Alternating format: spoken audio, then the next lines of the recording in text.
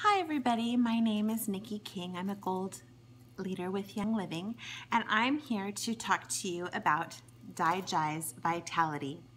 This is an amazing oil. The It's a blend and the oils that are in DiGize are tarragon, juniper, anise, ginger, fennel, patchouli, peppermint, and lemongrass.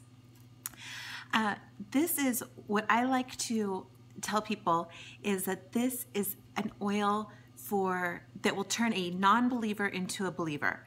So there are a lot of men out there that have a hard time grasping the concept of oils at first. DiGize will turn that doubt around completely. Um, it's great. It supports the digestive systems and the nervous system.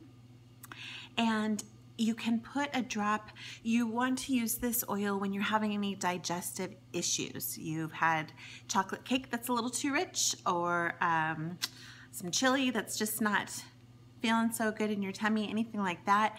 You can either rub DiGize on your stomach or you can actually ingest it. It is a vitality, so it can be ingested, and you can either put a drop uh, right under your tongue or fill up a veggie capsule with DiGize and peppermint. Peppermint is a great oil to add to DiGize. It also helps the taste of DiGize. It's not a it's not a delicious oil, but it doesn't matter because it does it works very very very fast.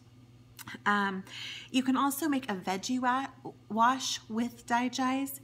Um, the the um, oils in DiGize actually go in and deteriorate um, the bad stuff that's on your fruit and vegetables that you get at the store. So you can make a veggie wash by putting a couple of drops of DiGize into a glass bottle with water and a little a little uh, bit of Epsom salt so that the oil and water mix and then shake it up real good and spray your fruits and vegetables with that and it will um, remove anything that you don't want to be eating, anything you don't want to go into your system with vegetables. Um, anyway, a great oil. Comment below if you have any questions and I'd be happy to answer them.